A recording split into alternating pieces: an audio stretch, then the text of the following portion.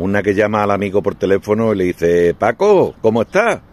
Dice Paco, muy bien, muy bien. ¿Tú has hablado con Alejandra? Dice, no. Dice, ¿tú te acuerdas, Paco, el día que estuvimos las dos en tu casa, hicimos un trío? Sí, sí, sí que me acuerdo. Dice, ah, pues me alegro que te acuerdes porque estamos preñadas las dos.